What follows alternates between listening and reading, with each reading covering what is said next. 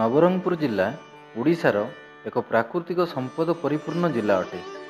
ଏହି ଜିଲ୍ଲାରେ ସାଧାରଣତଃ ଦଶ ପ୍ରକାର ଆଦିବାସୀ ସମ୍ପ୍ରଦାୟର ଲୋକମାନେ ବସବାସ କରନ୍ତି।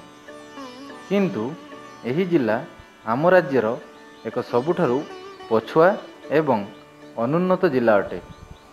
ଏହି ଆଦିବାସୀ ସମ୍ପ୍ରଦାୟର ଜୀବନ ଏବଂ ସଂସ୍କୃତିକୁ ଏକ ସୂତ୍ରରେ ବାନ୍ଧି ରଖି ସ୍ଥାୟୀ ଜୀବିକା ସୃଷ୍ଟି କରିବା ନିଶ୍ଚିତ ରୂପରେ ଏକ ଜଟିଳ ଅଙ୍କଟିଏ। ଏହି ଜିଲ୍ଲାରେ ସାଧାରଣତଃ ଆଦିବାସୀ ମହିଳାମାନେ ଘର କାର୍ଯ୍ୟ କରିବା ସହିତ ଜୀବିକା ପାଇଁ ବିଭିନ୍ନ କାର୍ଯ୍ୟ କରିଥାନ୍ତି ଯଥା ଜଙ୍ଗଲରୁ ଜାଳେଣୀ କାଠ ସଂଗ୍ରହ କରିବା କୃଷି କାର୍ଯ୍ୟ କରିବା ଏବଂ କେନ୍ଦୁରୁ ପତ୍ର ତୋଳିବା। କିନ୍ତୁ ଏହି ଆୟ ଗୁଡ଼ିକ ସ୍ୱଳ୍ପ ଏବଂ କ୍ଷଣସ୍ଥାୟୀ ଅଟେ।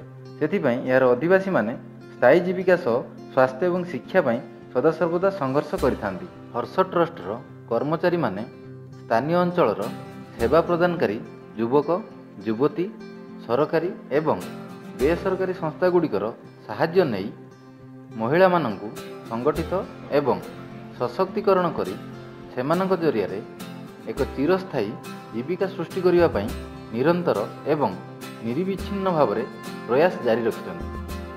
ଏହି ପ୍ରୟାସରେ କର୍ମଚାରୀମାନେ କିଛି ସଫଳତା ତ ପାଇଛନ୍ତି କିନ୍ତୁ ଏହା ସହିତ କିଛି ବିଫଳତାର ଅଭିଜ୍ଞତା ମଧ୍ୟ ହାସିଲ କରିଛନ୍ତି ସେଥିମଧ୍ୟରୁ ସୁଦୃଢ଼ ମହିଳା ସଂଗଠନର ଅଭାବ ଅନ୍ୟତମ ଅଟେ ଆଗକୁ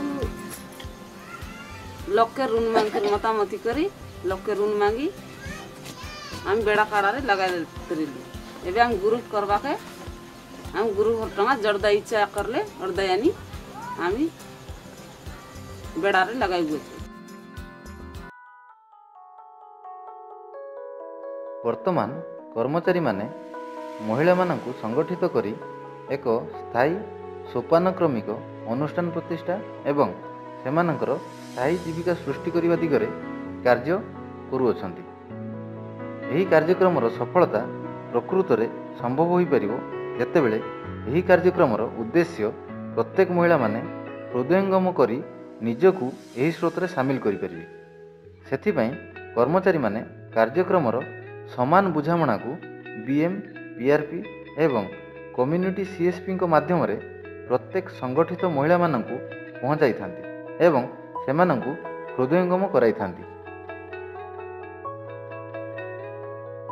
ରଘୁପତି ରାଘବ ରାଜା ରାମ